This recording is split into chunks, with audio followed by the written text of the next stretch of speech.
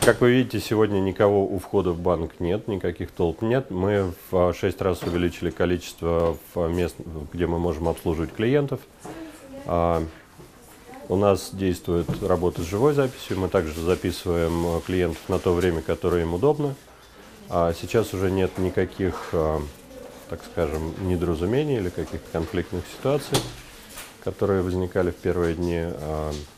Обстановка абсолютно нормальная, абсолютно рабочая. А что вы хотели сказать вашим клиентам, вернее не клиентам, а тем людям, которые должны получить выплаты у вас?